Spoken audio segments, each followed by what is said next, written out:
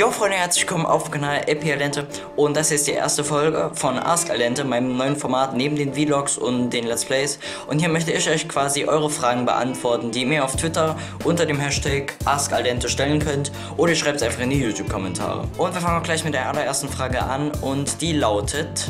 Wie bist du eigentlich auf deinen Kanalnamen gekommen? Ja, wie bin ich eigentlich auf meinen YouTube-Kanalnamen gekommen? Ich weiß es ehrlich gesagt selber nicht, wie ich auf Al dente gekommen bin. Es hat auf jeden Fall was damit zu tun, dass die Pasta, also die Nudeln im Italienischen, wenn die ideal geworden sind, also quasi perfekt, dann nennt man die Al dente. Und vielleicht habe ich mir irgendwann mal gedacht, gut, vielleicht wenn ich jetzt Let's Plays mache oder generell Videos und die quasi ideal oder perfekt sind, dass sie dann Al dente sind und so bin ich vielleicht irgendwie auf den Namen gekommen. Aber selbst weiß ich das das nicht mehr, denn mein Kanal gibt es jetzt schon seit fast drei Jahren. Also Ende 2012 habe ich den erstellt, das weiß ich noch. Und da hieß ich auch noch, also nur LP Alente und nicht Sir LP Alente. So, jetzt kommen wir direkt zur zweiten Frage. Wieso hast du mit YouTube angefangen? Ja, wieso habe ich mit YouTube angefangen? Das war so die Zeit, als Let's Plays gerade so richtig im Trend waren. Da hat Gronk angefangen mit seinem Minecraft Let's Play, was ja dann auch über 1000 Folgen ging. Und da haben wir dann noch jeden Tag gewartet, wann kommt die neue Folge Minecraft raus. Da kann ich mich noch dran erinnern. Und einige werden das von euch auch noch wissen, wo er dann zum Beispiel in diesem komischen Berg da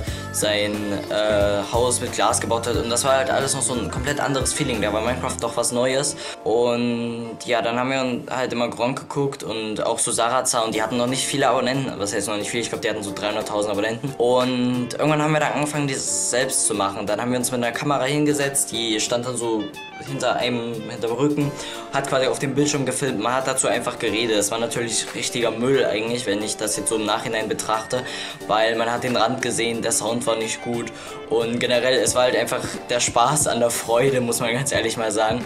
Und wir haben das zum Glück auch nicht hochgeladen. Ich habe dann angefangen mit ähm, Philipp von Bravio, der ist auch auf meinem Kanal verlinkt, haben wir dann angefangen Minecraft Let's Plays zu machen, drei Folgen auf einem Hamachi-Server, der selbst gehostet war. Und das hat auch geleckt wie Sau. Also einige von euch werden vielleicht die Folgen noch kennen.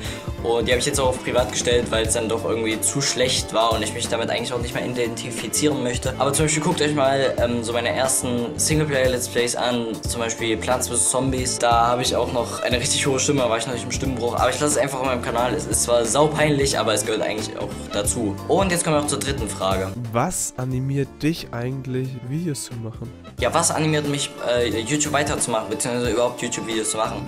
Eigentlich ähm, ist es wirklich das Feedback von euch zu bekommen. Das ist einfach ein richtig cooles Gefühl, zu wissen, dass das, was man macht, dass das auch angenommen und dass es äh, Leuten auch Freude macht. Und das ist eigentlich so das, was mich an der Sache hält. Und generell der Spaß, was ich so an Kreativität in meinen Videos auch mit reinbringen kann. Und ich finde, das ist so die Hauptursache, warum ich überhaupt YouTube mache. So, das war schon mit der ersten Folge Ask Aldente. Wie gesagt, wenn ihr irgendwelche Fragen habt, schreibt die unten in die Kommentare oder auf Twitter. Da werde ich die dann entweder sofort auf Twitter beantworten oder mit in das Format reinnehmen.